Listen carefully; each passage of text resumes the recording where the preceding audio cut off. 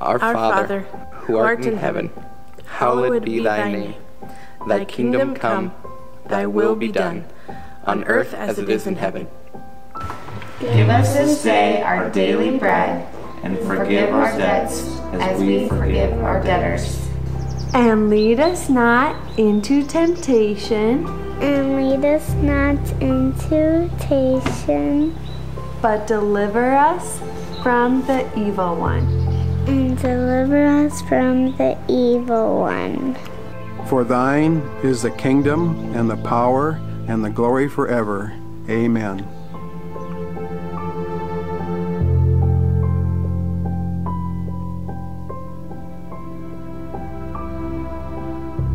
Before we, uh, before we open up Scripture today, let's pray together. Gracious God, we, um, we just give you thanks for holding it all together. Holding all of creation together, holding all of our lives together, holding us together. God, we give you thanks for doing the thing that we are just so incapable of doing for ourselves. God, as we open up your word, would you um, continue to hold it all together in our lives? Would you continue to show us uh, who you are? Would you reveal to us a, little bit about your nature, a little bit about who you are? And God, would you open our hearts and open our ears so that we might receive that uh, today through your word? God, would the uh, words of my mouth and the meditations of our hearts together, would they be uh, pleasing and acceptable to you today too? Pray this in Jesus' name. Amen. So if you have a Bible, you can open it up to the Gospel of Luke. Um, if you don't, that's okay. The words are going to be on the screen behind me too. Uh, we're going to be in Luke uh, chapter 11. I'm going to read verses 1 through 13 together today. So, friends, hear the word of the Lord. He, Jesus, was praying in a certain place. And after he had finished, one of his disciples said to him, Lord, teach us to pray, as John taught his disciples. He said to them, When you pray, say, Father, hallowed be your name, your kingdom come. Give us each day our daily bread, and forgive our, us our sins, for we ourselves forgive everyone indebted to us. And do not bring us to the time of trial. And he said to them, Suppose one of you has a friend, and you go to him at midnight and say to him, Friend, lend me three loaves of bread, for a friend of mine has arrived, and I have nothing to set before him. And he answers from within, Do not bother me. The door has already been locked, and my children are with me in bed. I cannot get up and give you anything. I tell you, even though he will not get up and give you anything because he is a friend, at least because of his persistence, he will get up and give him whatever he needs. So I say to you, ask and it will be given, search and you will find, knock and the door will be opened for you. For everyone who seeks receives, and everyone who searches finds. And for everyone who knocks, the door will be opened. Is there anyone among you who, if your child asks for a fish, will give a snake instead of a fish? Or if the child asks for an egg, will give a scorpion? If you then, who are evil, know how to give good gifts to your children, how much more will the Heavenly Father give the Holy Spirit to those who ask Him? This is the word of the Lord. Thanks be to God. Prayer. I don't know about you, but I might say prayer feels like one of the easiest, most natural things we can ever do, and simultaneously feels like maybe the hardest and most unnatural thing we can ever do. I say it like this maybe it's the easiest and most natural thing we'll ever do because it seems like we're hardwired to seek a creator. As creatures of a creator, we are hardwired to look for something beyond ourselves. We're hardwired, as one scholar says, we're hardwired to, to pray two things thank you and help me. These might feel supernatural to us. One writer, one scholar says it like this um, that, that when we find our, our, ourselves at a loss for words, maybe when we're struck by beauty or struck by our own pain or someone else's pain, we find ourselves groaning, maybe, maybe just a, a sigh or an ah. Maybe like when a firework goes off in the air and you feel something inside you just stirred with beauty or wonder. That, as one writer might say, is a prayer in and of itself, reaching out to, to a creator beyond ourselves. Prayer can really be that easy. Sometimes we find ourselves praying or communicating with God without even really meaning to, but prayer can also be one of the hardest and most unnatural things we'll ever do.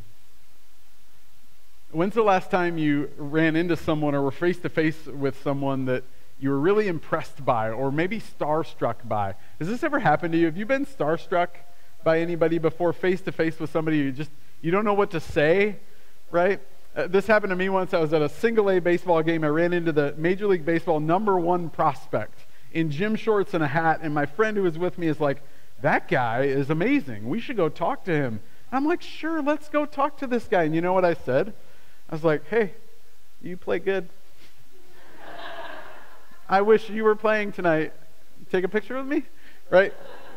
We get awkward and we don't know what to say. Now, imagine this when we pray, we are praying to the creator and sustainer of all that is. What do we say? Prayer is also wrapped in a ton of mystery, isn't it? We are praying to the God who knows exactly what we're going to say before we say it. What if we say the wrong thing? And if God already knows what we're going to say, why, why do we have to pray it at all? I don't know. There's a ton of mystery around this, but prayer is also hard because of this. It bumps up against our busyness. It bumps up against this culture of busyness that we live in, right? Don't, don't we really like to do? Don't we really like to get stuff done and check off boxes in to do lists? Aren't we really good at that? Prayer is often not that. Prayer can often feel like the opposite of that, and we can often set it aside in favor of things that we can check off our list. I, I have to admit, embarrassingly, that I'm, I'm pretty guilty of this. Some people refer to themselves or refer to other people as prayer warriors. I don't think anybody is going to refer to me as that, and I certainly wouldn't refer to me as that. If I'm, if, if I'm honest, prayer for me is even one of those things that when chaos seems to happen, that I'm pretty prone to even push that aside in my own life. And let's, let's face it together. Let's be honest together. We do like to be productive, don't we?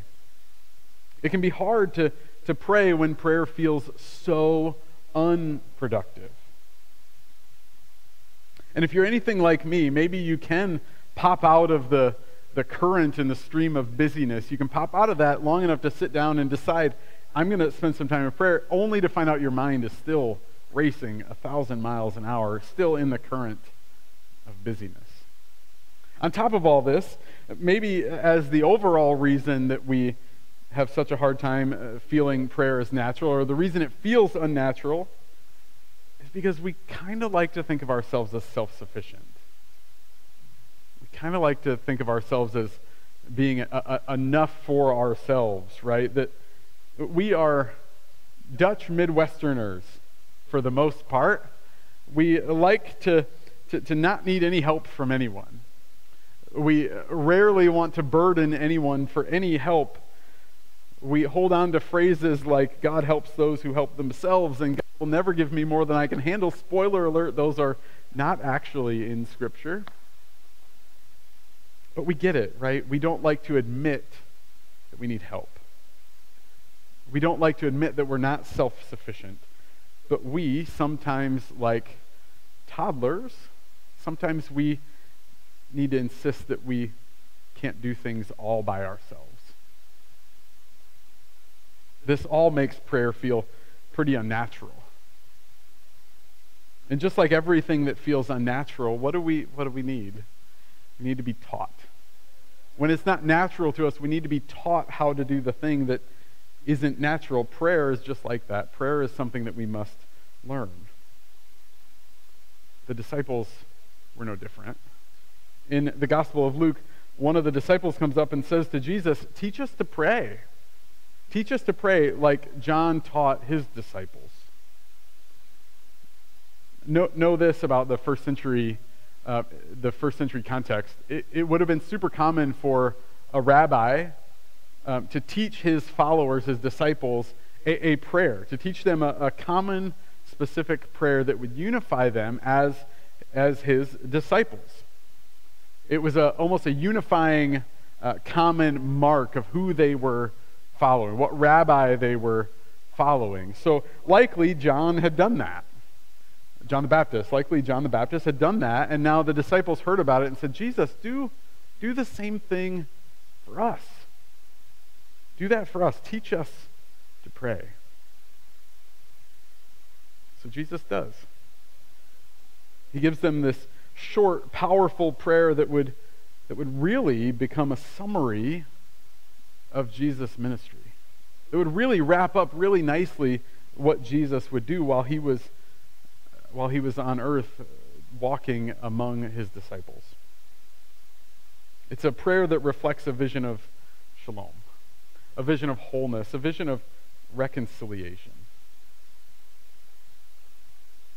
Now, we also get this prayer in Matthew's gospel. Matthew's gospel is maybe the one that we know a little more uh, commonly. It's a little more developed, it's a little more closely uh, related to what we call today the Lord's Prayer. And it was uh, more closely, more developed into what now, for generations, for thousands of years, has been a prayer that's united the church and shown the church as followers of Jesus all the way even to today. So I mentioned this last week, but today we're starting this sermon series on the Lord's Prayer. And we're going to walk really slowly and really intentionally through the Lord's Prayer through the whole summer um, together. And, and what, what I hope for us together is that we not only see what Jesus taught us to pray, but that we might learn and be changed by what Jesus desired. That our desires might be shaped and molded more to match the desires of Jesus. So we're going to do that this summer. This is the first, uh, the first of excuse me, of a few. Now, one thing that stands out to me, maybe you caught this, one thing that stands out in Luke's account is this that what prompts the disciples to ask for Jesus to teach them is that Jesus was already praying, right? It, Luke says he was praying in a certain place. So, in a real way, Jesus was already teaching them. They, they didn't know it, they didn't see it at the time, but in a real way, Jesus was showing them this is what prayer is like. This is what a life of prayer looks like. And prayer continues to be a, a central theme in Jesus, uh, Jesus' life all throughout Luke's gospel, especially Luke's gospel. We see time after time after time that Jesus finds prayer, uh, being alone, being, being in communication with God, authentically and real, is a central theme of his life. And it continues then. Luke writes the book of Acts the book of Acts is like a sequel to Luke's gospel. And we see that primary, uh, prayer is a primary theme there too. Prayer is actually, in Acts, is actually kind of the main way that God's power comes into earth, comes into what the, what the church is doing. Prayer is the, the, the vehicle for God's power. It's the vehicle that sends the church on mission, to be on mission right where they are. All that to say, prayer matters. I know, understatement of the year, right? But Luke and Acts and Jesus' life, they show us that prayer matters.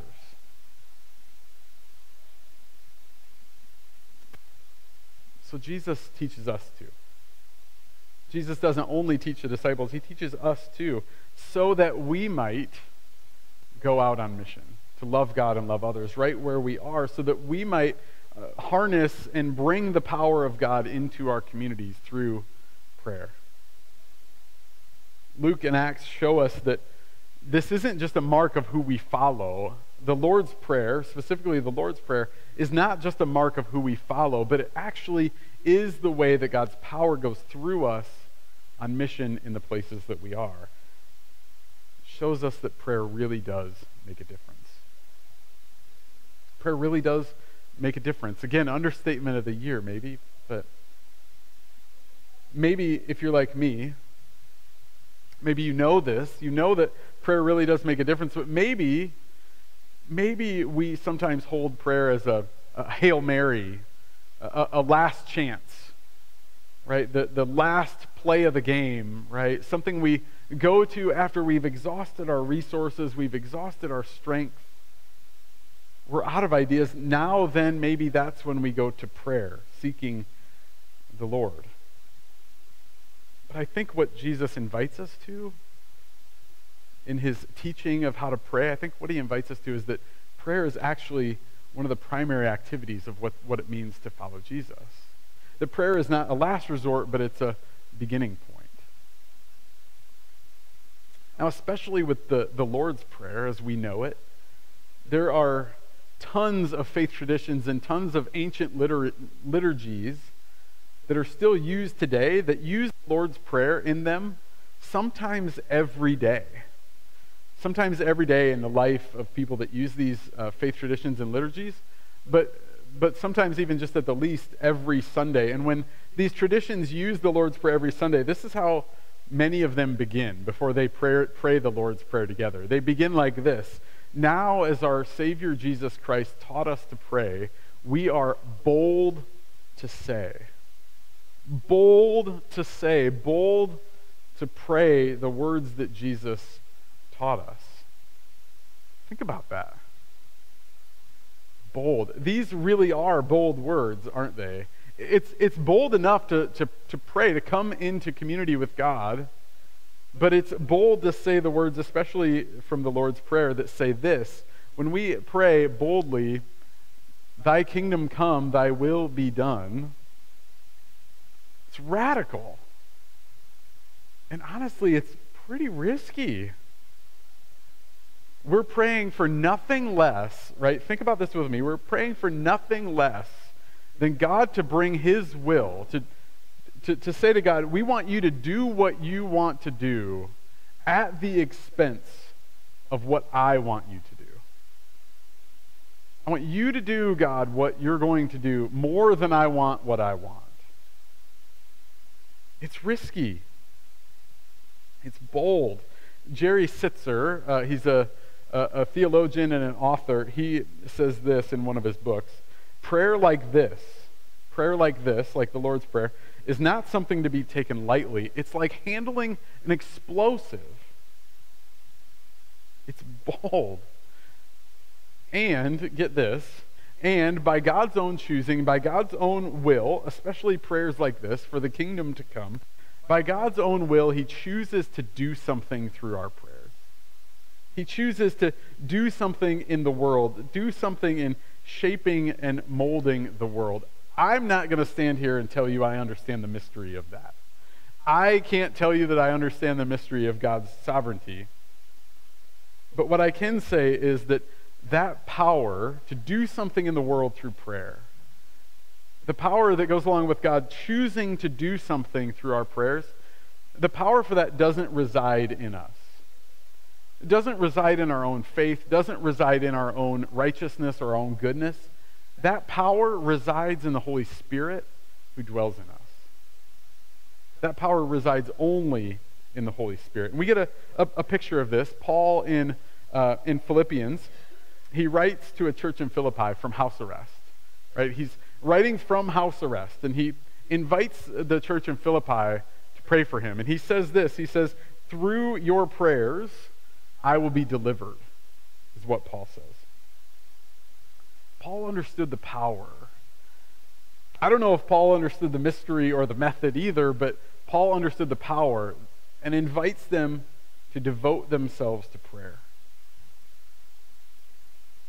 And in that devotion to prayer, Paul knew that they, and now us today,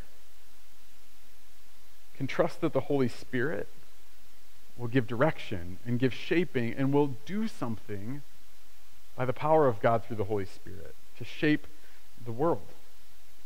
We'll do something in order to bring about what God desires in the world. I don't know about you, but I always find this so freeing. This idea that the Holy Spirit is shaping and molding our prayers, this is so reassuring. I'll, be honest with you, I sometimes don't have any idea what to pray for. Especially sometimes when I sit with families who have sick loved ones, I don't always know what to pray for. And maybe you found yourself in a spot too of just having no idea what to pray for sometimes I actually just name God, I don't know what to pray for, but you know you know what's needed. God, I don't know what to pray for, but we want more of you. God, I don't know what to pray for or ask for, but we want your presence. So, as your pastor, I want you to hear me tell you that it's okay to, to be short of words, to not know what words to pray to God in a given moment. It's okay to be at a loss for words. It's okay to be overwhelmed with joy or grief. It's okay that you don't know how to form words for a prayer. Paul, again, Paul says in Romans 8 that the Holy Spirit intercedes for. The Holy Spirit intercedes for us, and, and, and even then, our sighs and our groans, the things inside of us that don't have words, even those even those are taken by the Holy Spirit and molded and shaped into perfect prayers that God the Father hears. Perfect prayers that reach the ears of our Heavenly Father. So reassuring. Now, maybe, maybe you notice there's something kind of troublesome in this text. There's something kind of kind of weird about this text, and it's this this kind of weird parable after Jesus teaches his disciples how to pray. Maybe you caught it and you're like, boy, that's odd. It's a really strange parable after he teaches the disciples how to pray. And the parable is essentially this situation. Imagine with me for a second that tonight at midnight, a friend of yours, a friend, a van load of kids, come to your house and you're so happy to see them, but it's midnight and you don't have any food and you don't have anything to drink. And it's Sunday, so Fareway is closed. You can't even go to Pizza Ranch for crying out loud. But you don't have any food to give anybody, so where do you go? Naturally, you go to your neighbor. You knock on their door. You knock and knock and knock. And instead of coming to the door, they poke their head out the window, their bedroom window, and they're like, hey, man, I'm, I'm kind of in bed already. It's late. Sorry, go away. And you're like, dang it. So you ring the doorbell again and again and again and again. And finally, your neighbor comes to the door. And your neighbor says, Fine, get out of here. Here is a Tupperware container of leftovers, or maybe it's a Cool Whip container. Fine, get out of here. Take my leftovers. Just leave me alone. You've got a grumpy neighbor, but you've finally got food and drink to give your friends. Jesus says the punchline of this parable is this I tell you, even though he, even though the neighbor, will not get up and give you bread because of friendship, he will get up because of your persistence and give you what you need. And then Jesus ends the parable by saying, Ask and it will be given you, search and you will find, knock and the door will be open.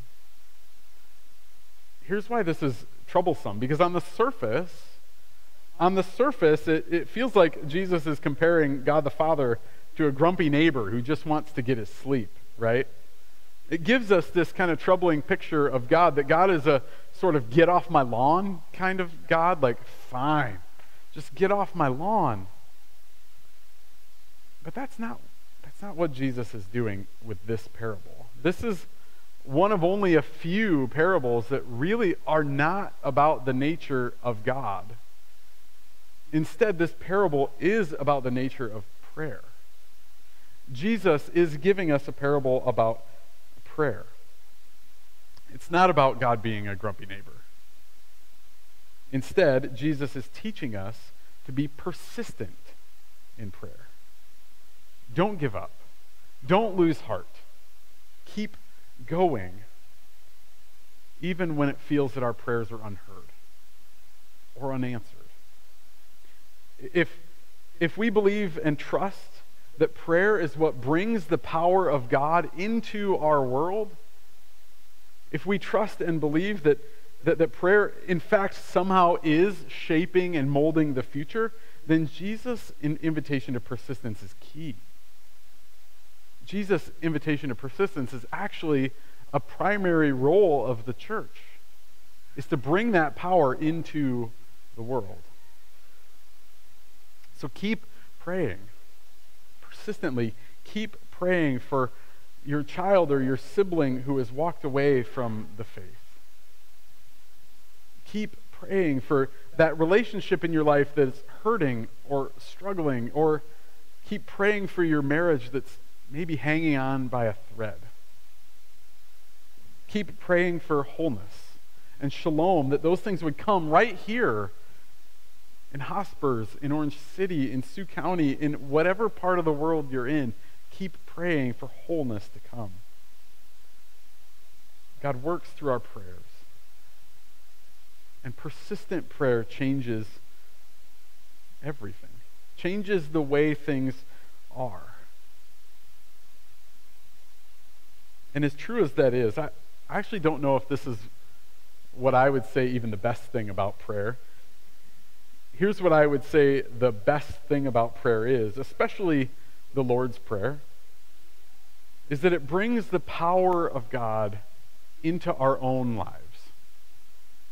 And it changes us. It changes us. Right? Why does Jesus call us and invite us to persistent prayer? Well, why does Jesus teach us to, pray, to, to make a prayer like the Lord's Prayer a regular habit? Why does he do those things? It's not to convince God or coerce God to act on our, on our behalf. That's not it. Rather, it's because of this. When we engage in prayer like this, when we make this a regular habit, it brings us closer to the heart of God. It brings us closer to the heart of God. Did you notice? Did you notice what, what God promises to us when we pray like this? Jesus doesn't say anything about us getting what we want, right? This sort of prayer is not about getting what we want. Jesus doesn't say anything about that at all, right? God is not a genie. God is not a vending machine in which we just deposit our requests and receive what we want. On a side note, that might actually be pretty bad if we got everything that we wanted. But here's what God here, here's what the promise is. It's from verses 11 and 13. 11 to 13. Is there anyone among you who if your child asks for a fish, will give a snake instead of a fish, or if the child asks for an egg, will give a scorpion? If you then, who are evil, know how to give good gifts to your children, here's the promise. How much more will the Heavenly Father give the Holy Spirit to those who ask Him. This is the promise. This is the most beautiful part of prayer, the most valuable part, the most gracious part of prayer. It's not getting what we want, it's not about getting results. It's that we get God. We get God's presence. It's the gift of the Holy Spirit given by God. Holy Spirit dwells in us. That God dwells in us, and God is present in every joy, in every, every disappointment, every pain, every celebration, every lament, and it means that we are transformed. That prayer transforms us. That by the Holy Spirit, we are being transformed. Eugene Peterson, maybe you know the name Eugene Peterson, he he says it like this, and I think this is spot on. He says, Prayers are not tools for doing or getting, but tools for being and becoming. Prayers are not tools for doing and getting, they are tools for being and becoming. Do you know the name Oswald Chambers? Does anybody know this name? This is a 20th century theologian, an early 20th century theologian, he says it like this To say that prayer changes things is not as close to the truth as saying prayer changes me and then I change things. I love this. I love this so much. You, have heard me say before that the only thing that we have control of, the only thing that we can influence in this world is ourselves. the only thing that we can influence in our systems, in our communities, in our workplaces, wherever we are, the only things we can influence are, are who we are and, and how we show up. Or the, the biggest point of, of change, the biggest leverage point of change in our lives and in our systems, it's us. It's me. It's you. I can't control or influence you, and you can't really control and influence me. I believe really deeply, really deeply, the kingdom comes more and more. That shalom and wholeness come more and more as we experience shalom and wholeness. We are the instruments of shalom and wholeness that God has decided to put in the very place that we are today on purpose for a reason. And those things come more and more as they come in our own lives.